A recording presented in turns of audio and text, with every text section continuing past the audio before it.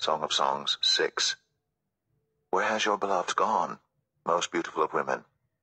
Which way did your beloved turn, that we may look for him with you?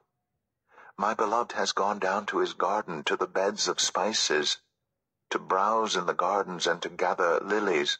I am my beloved's, my beloved is mine. He browses among the lilies. You are as beautiful as Tirzah, my darling, as lovely as Jerusalem, as majestic as troops with banners. Turn your eyes from me, they overwhelm me. Your hair is like a flock of goats descending from Gilead.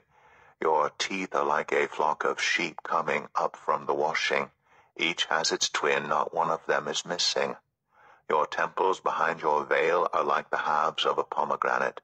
Sixty queens there may be, and eighty concubines, and virgins beyond number, but my dove, my perfect one, is unique. The only daughter of her mother, the favorite of the one who bore her. The young women saw her and called her blessed. The queens and concubines praised her. Who is this that appears like the dawn, fair as the moon, bright as the sun, majestic as the stars in procession? I went down to the grove of nut trees to look at the new growth in the valley to see if the vines had budded or the pomegranates were in bloom. Before I realized it, my desire set me among the royal chariots of my people. Come back, come back, O Shulammite, come back, come back, that we may gaze on you.